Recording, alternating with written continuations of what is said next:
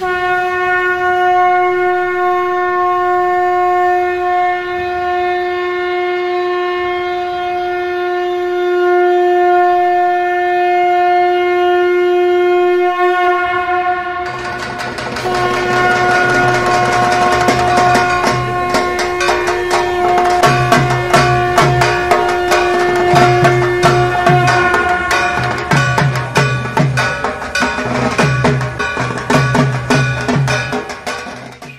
श्रीनाथ जी, गुरु जी को अलग आदेश, माँ भगवती को अलग आदेश, रांची वाले भैरव बाबा को अलग आदेश, आप सभी को आदेश आदेश।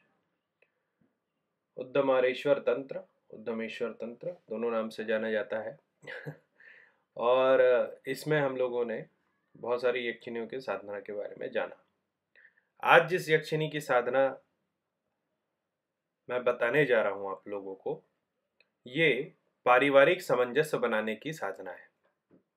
कामेश्वरी साधना के नाम से इसका बहुत सारा इंटरप्रिटेशन है इंटरनेट पे। मैं किसी भी साधना को देता हूँ तो उससे पहले उस पर पूरा रिसर्च करता हूँ। तो कामेश्वरी साधना क्योंकि इसमें काम से शुरुआत है मतलब कामनाओं से शुरुआत है तो इसको आ, काम भावना से जोड़ते हुए मैंने देखा कि कई जगह पर इसका ऐसा वर्णन है कि जब आप तीन हज़ार बार इसका जाप करते हो अमावस्या और पूर्णिमा को और उसके बाद हवन करते हो फूलों से तो आधी रात को ये जो कामेश्वरी यक्षिणी है, ये प्रकट होती हैं और जो भी साधक हैं, उनके साथ संबंध बनाती तो ये बिल्कुल गलत बात है, ठीक है? कामेश्वरी साधना काम मतलब कामना के लिए होती है और कामनाएँ पारिवारिक हो, वैचारिक हो और स्पिरिचुअल हो। ये साधना, सिर्फ़ ये एक ऐसी यक्षिणी की साधना है, जिसको सिर्फ़ वो कर सकता है जो गृहस्थ हो मतलब जिसने शादी कर रखी हो। क्योंकि बिना पत्नी के ये साधना नहीं हो सकती है, ठीक है?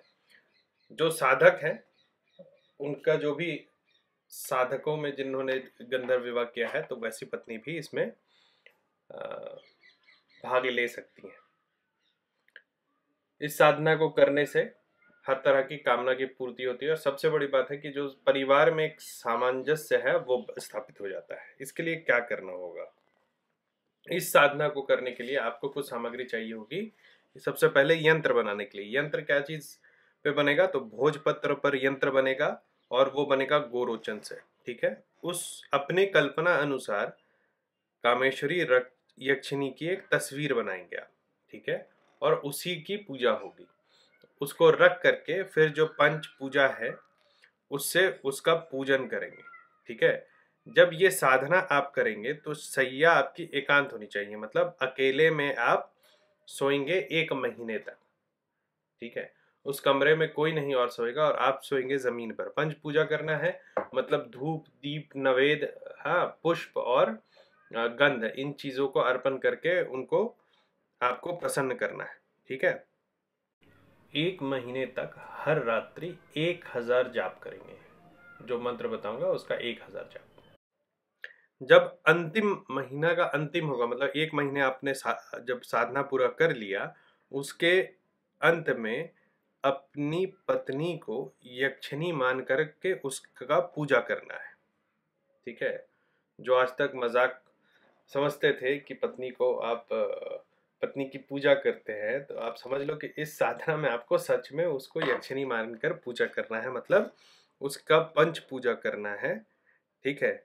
और जहाँ पर आप सोएँगे, वहाँ पर रात्रि में शहद और घी को मिला करके उसका दीपक जलाना है, ठीक है?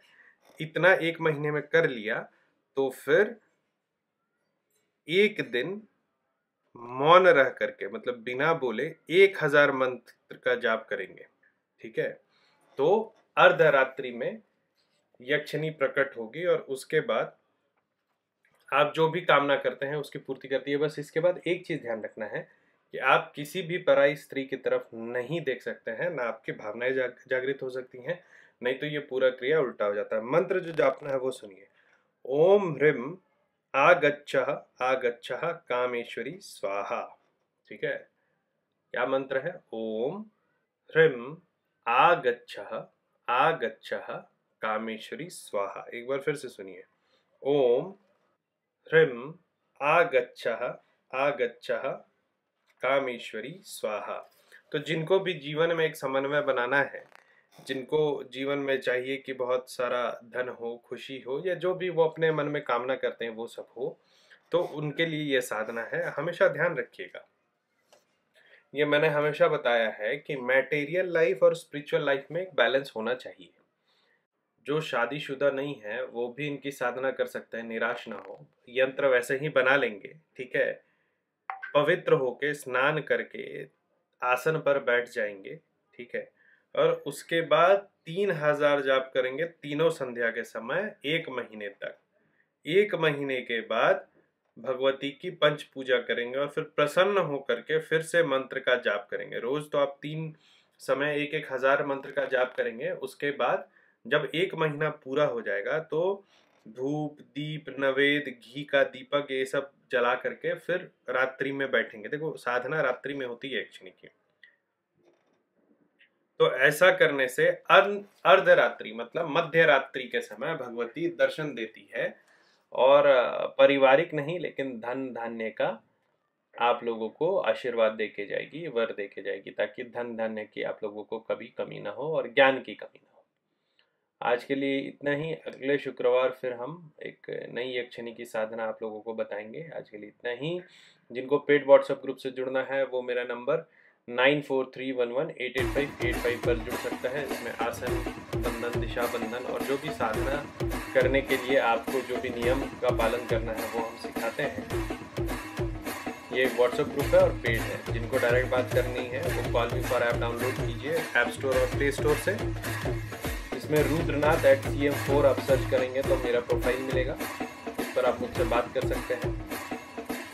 डायरेक्ट अपॉइंटमेंट लेने के लिए W W W dot Aghortantra Rahasya dot x Y Z या अघोरतंत्र रहस्य डॉट कॉम पर जाइएगा, तभी आपको मेरा प्रोफ़ाइल मिलेगा, आप इस पर आज के लिए इतना ही। आप सभी धन धाने से परिपूर्ण हो, ऐसे मेरे काम में आपसे आदेश आदेश, अलग आदेश।